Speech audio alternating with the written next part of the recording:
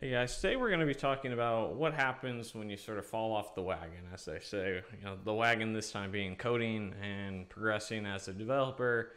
Um, you know, uh, I figure it's an appropriate time to have that conversation about how we can get back on the wagon and get back onto the path that we want to be, which is, you know, learning to become better software developers, working towards that first software engineering role. So let's go ahead and dive into my five ways that when I realize that I've gone astray, how I come back.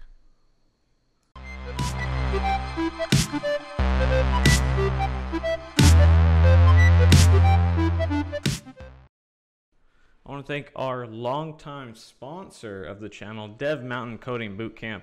If you're looking to get your career started, might I recommend Dev Mountain? They have a full stack JavaScript, iOS, UI UX, quality assurance course, and Salesforce.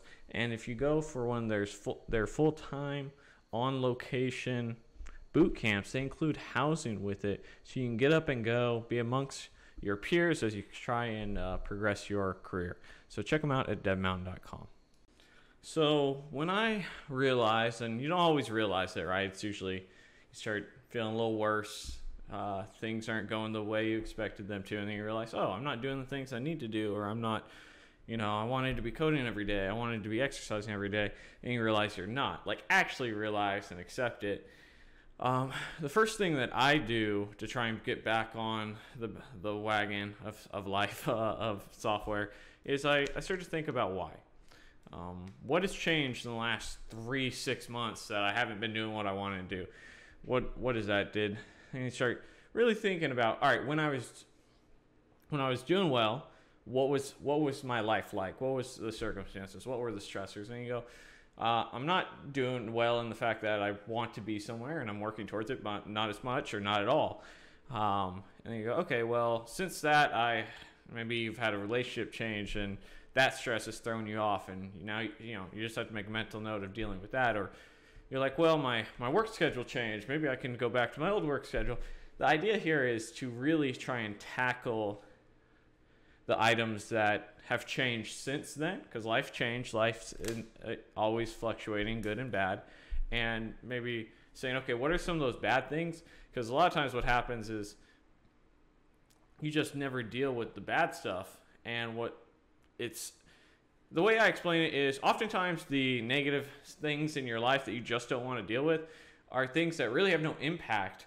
Or the situation is more so it's not as scary as your mind makes it up to be and the stress of not dealing with it is much worse than the stress of actually just going and tackling the stressful situation so that's usually what i do as step one step two um, and you can these steps are all not really steps but just sort of more so things that I, I've done to try and get myself back to where I want to be is uh, try to try to understand what it is that you want to be. A lot of times people just, yeah, I want to be, I just want to have a good life.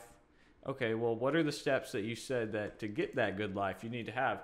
The goal isn't so much important as, because the goal at the end of the day for everything is just happiness. We all just want to be happy and, um, you know, have those around us be happy as well, right?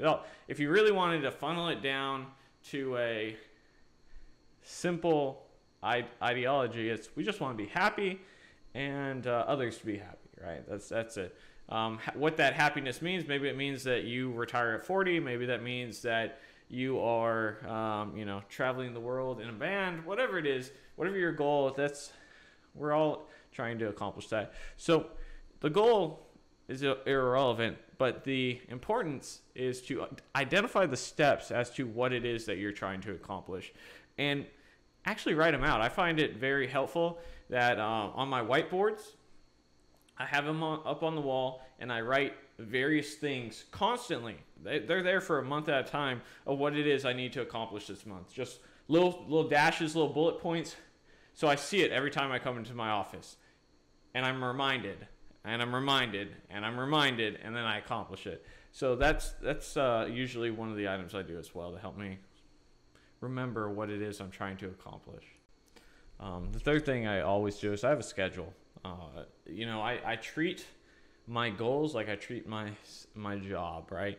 If you stop showing up to your job, your paychecks will stop showing up. If you stop showing up to your goals, your goals will stop being accomplished. It's the same concept.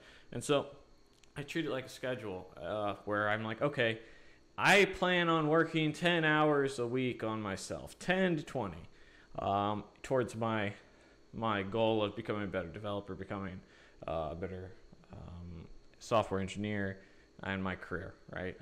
And so in those 20 hours, I don't just randomly plan it. I have set times that I go and work towards it. Saturday mornings or Saturday evenings, I work on YouTube. Uh, in the morning, I study. Every single day, I'll spend about an hour studying in the morning. It hasn't been that way this last three, four weeks.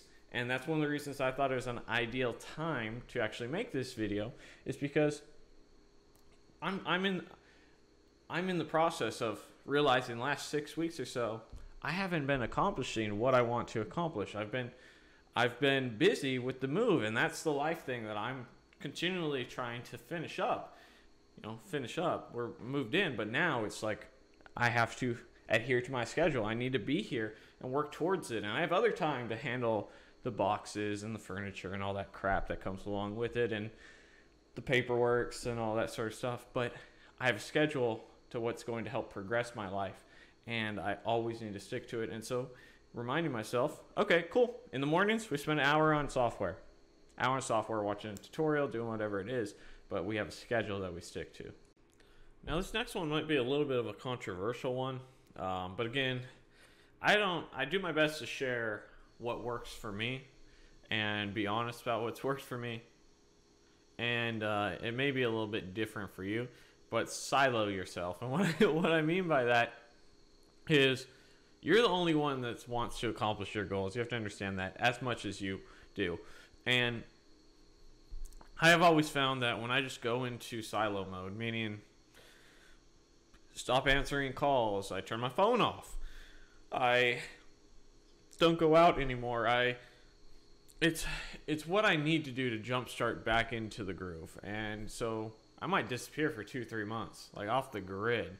The only thing you'll see is videos on YouTube. That's about it. And that even stopped the last three weeks or so. So I think siloing yourself is somewhat healthy. You just have to unsilo yourself, uh, which becomes the, the hard part for some people. And some, sometimes people need that that connection with other people all the time. I'm not saying not to have it, but what I am saying is you have to understand that this is your time and you need to protect it. And so sometimes it just means you have to go go dark, go silent. Last but not least, just do it.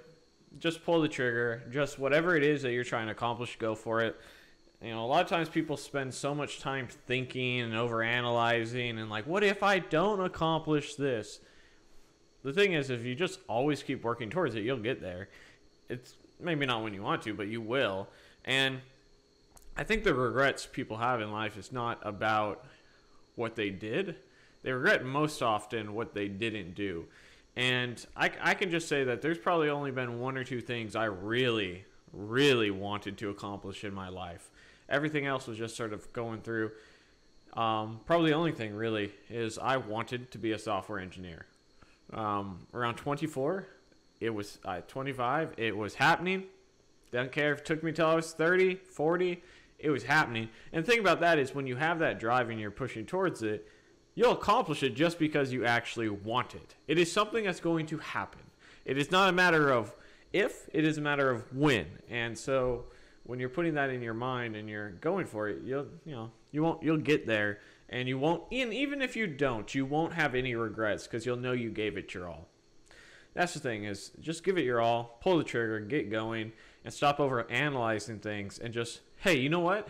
I haven't done shit for the last three months. What am I going to do to change that? Well, today, I'm going to do something. T- tomorrow, I'm going to do some other shit. The day after that, I'm going to do some other shit. And so you just tackle it one day at a time and get going. And, you know, these are just words. I can't do them for you. I don't really even believe in motivation. I think more than anything else, what you get is information. And motivation is nothing but reminding you about things that you already know about, right? We already know how to get six pack abs we just don't want to do it. uh, we already know how to become software engineers. I have to code every day. That's it. That's it, guys. I've said it. You know what that code is. we can we can all define that and you look that up, but you just have to do that. You have to work towards the goal every day. You'll you'll get there. so if you're fall, if you're falling off the bandwagon, just get going. That's it. At the end of the day, pull the trigger, and uh, pull it again the day after that, the day after that, day after that. Anyhow, guys, I appreciate you all. If you're interested in any of my courses, might I recommend the 100 Algorithm Challenge to help you get prepped for your JavaScript technical interviews. And then, of course, um, don't forget to like, comment, share, subscribe. See you guys next time. Bye. Hey guys, thanks for watching the video. Don't forget to check out my 100 Algorithm Challenge course. Get you prepped for those technical interviews to make sure you get nice offers. I, I actually just added some new content to it so you can uh, get prepared for those technical phone screens as well. There's a link in the description to get it for just $9.99.